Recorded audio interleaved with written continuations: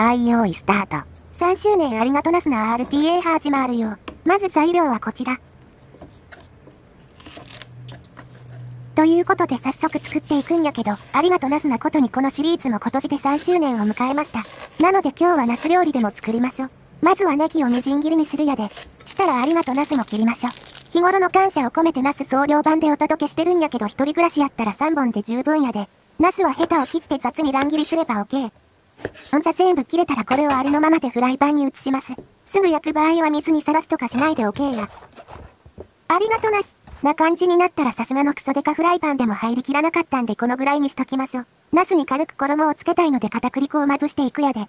フライパンの中で片栗粉をまぶすやつ初めて見ました。かっこ他人事。ええでもちゃんとナスの表面にだけ必要な片栗粉しか入れてないんで、結局フライパンに片栗粉は大して残りません。洗い物が減るからよし。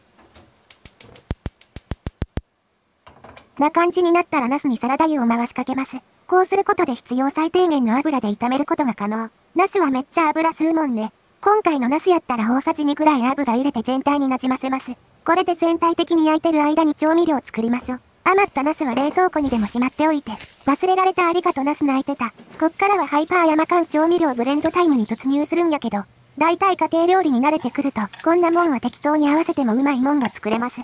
でも味噌を使う料理は、その味噌の種類や塩分濃度によって調味を変える必要があるから、一旦最初の分量通り作ってみて味見してみてな。そうこうしてるうちにありがとナスが焼けたんですが、思ったよりフライパンに隙間ができたんで、これを一旦別のフライパンに逃がします。その後冷蔵庫からナスを取り出し、再度片栗粉をまぶして焼いていくことを、二度揚げではなく二度手間と言います。洗うフライパンと皿が増えたんで三度手間とも言いますしガバとも言います。ついでに視聴者はああもうめちゃくちゃだよと言います。んじゃいろいろ混ぜたら味見をしましてペロうんうまい。レギュレーション違反。バック、トゥ、ザ、ナス。ほんでタレを入れましょう。タレの濃度が濃すぎた場合は水を足してもええやで。白ネギも投入。出来上がりの濃度としてはこんなもんっすね。ナスに片栗粉がついてるんで水溶き片栗粉なしでもとろみは勝手につきます。仕上げにごま油を垂らして照りをつけたらあとは盛り付けて。いくぞでってってててて。カーン。ほかほかなすやこれは。仕上げに大葉や小口ネギを散らしたら、3周年ありがとなす味噌の完成。誕生日にいただいた夏の電球日本酒があるんで、こちらもいただきましょう。想像以上に電球で草。ほな3周年を祝いまして。KP。んじゃなす味噌もいただくやで。パク。うん。うまい。ここでタイマーストップ。記録は35分7秒でした。味の感想の前に乾燥した感想ですが、むは、あーあああ疲れたも、おーおーんでも味はガツンと濃い味でうまテイスト。味噌の分量を減らして、水の代わりに和風だし混ぜるとかしても良さそうやな。あとは豚バラ肉を入れたらさらにうまくなります。その場合は豚肉にちゃんとした味付けて作ってみてな。豚バラの油が旨味になって最高にご飯が進むやで。いいねにはこの動画に隠された3周年ガバを書いておいたやで。3周年お祝いポチよろしくなす。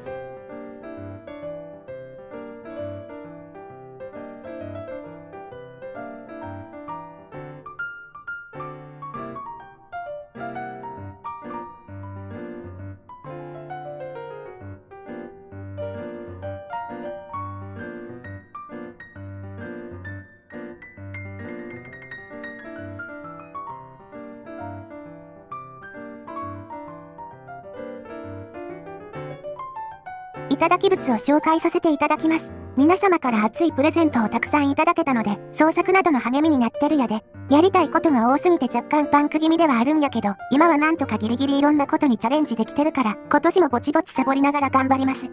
今回は純不動でまとめての紹介になりますが全部日々の生活の助けになっております。続きまして支援を紹介させていただきます。きびあんみつさんから支援をいただきました。誕生日おめでとなすとのことで、ちょっと色っぽい表情のあかねちゃんがええですねこれは。おそらくつまみ食いしたところを頭のりあおいちゃんに見つかって怒られてる最中でしょう。続きまして柑橘さんから支援をいただきました。初の支援へから約3年が経ちました。今も昔も変わらん高品質がばありがとなすとのことで、時が経つのが早いねんな。でもこうして変わらず投稿ができることや、美味しいご飯を作って食べられること、その全てに感謝して毎日を精一杯生きていくやで。